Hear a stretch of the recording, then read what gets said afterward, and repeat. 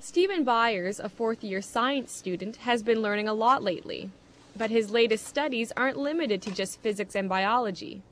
Byers is learning about Islam, a religion he's recently embraced. Like a brief illustrated guide to understanding Islam. About five years ago, Byers couldn't have pinpointed what belief system he followed.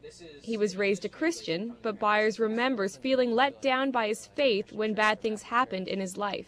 I would always question, like, why would, why would God do that to me, you know, or my family or my friends, you know, it just didn't make sense to me. And then I got pretty angry. That was like the only time in my life where I was really angry about a lot of stuff. Now Byers is feeling more settled. This past spring, he was encouraged by some friends to learn more about Islam. What he found was a belief system that, he says, was a perfect match for his logical mind. So in the summer, Byers spoke the Shahada, the testimony of faith that states Allah is the only God and Muhammad the last prophet of Islam. Once you say that line and you mean it in your heart and you're honest with yourself, you are a Muslim. It says, say there is no God but God. Abdul Haq Hamza says one reason why people gravitate to Islam is because there's something missing in their lives they want to fill. Hamza is a science professor at University of New Brunswick and also president of the Fredericton Islamic Association. He says Islam reminds people that they need to step away from the material world in order to find peace from within. Because Islam tells you you have to pray five times a day. So you have to disconnect yourself from that growing and fast-pacing life. The idea of peace is integral to Islam's message, a message that is twofold. First, a Muslim is called to submit to God, and then through that submission comes peace. Hamza says the only way to achieve peace outside is to achieve peace inside, through the will of God. It's like a, a glowing piece of coal. Uh, if, if you look at it when it's not lit, then it's just dark. When it's lit, then the darkness disappears. It's just a source of light. The other major duties that are required in Islam can strengthen a Muslim's commitment to God and to peace.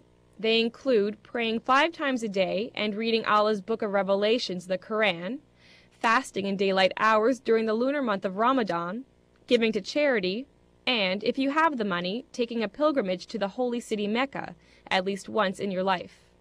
Byers hasn't been to Mecca yet, but he did take part in the fast of Ramadan for the first time. Not eating that period of the day teaches you discipline, and it just, I guess, knocks you down a step and makes you realize, you know, what it is like for those people that can't eat. This was just one of many firsts for Byers, but he says that still it's been easy to adjust to this faith. That's because he feels the fundamental values of peace, charity, and goodwill were already a part of his character. So just just coming into it, I guess, would be just changing from the way I was to knowing that's how I was. Maybe it was more of a coming to understand the way I am. Islam is what is with you all the time. You were born with it. It's uh, in Arabic we call it fitra. It's that which is part of you. They started walking the walk of Islam when they were ready for it.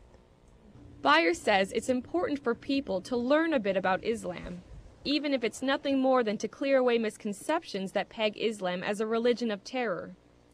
Byers says if people incorporate the goals and aims of Islam into their lives, like him, they might find some peace they didn't even know they were searching for. Sarah Trainer, CBC News, Fredericton.